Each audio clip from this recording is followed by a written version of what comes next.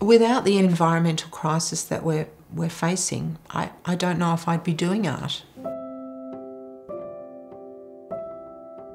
My name's Chris Chrisanne, and I guess art is something that has always pumped through my system. I think I got to my probably late 20s, early 30s and realised that I couldn't actually survive in the world without having some sort of artistic expression.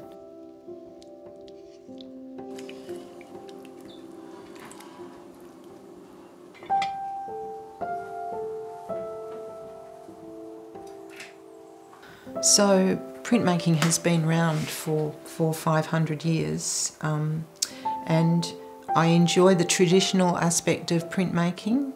It's quite old and it's a very slow process.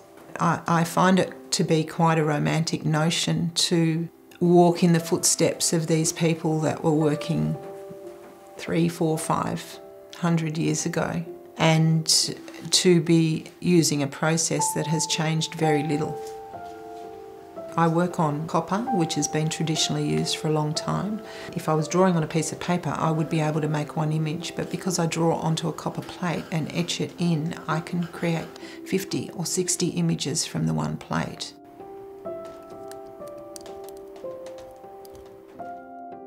The, the traditional printmaking is something that really appeals to me.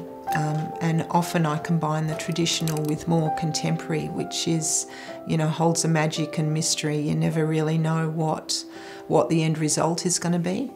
Um, you have to have a concept in mind and you have to have some idea of your um, process because it is very, very process based. When you combine it with more uh, contemporary methods, there's this, you know, idea of letting go and being driven by the process, and the results can often be really surprising.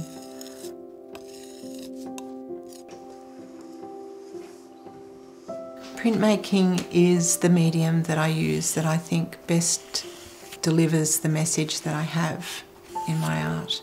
It's something that comes deep within and has always been with me, and that is a deep concern for the health of the planet. And I, I try never to waste an opportunity to put a, a message of environmental concern into my art. It talks about extinction, about loss of habitat,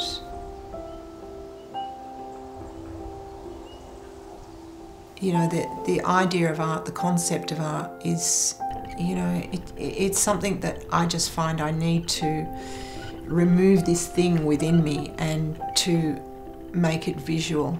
You know, it, it, it starts off as a concept and it works through you and ends up being something on a piece of paper. Art can be quite, you know, a selfish and a self-indulgent pursuit. Um, it's lovely for somebody to look at a finished piece of your work and really connect with it. And that connection is not always on the level of the discursive. It's a, it's a gut feeling. And that, that to me makes art worthwhile.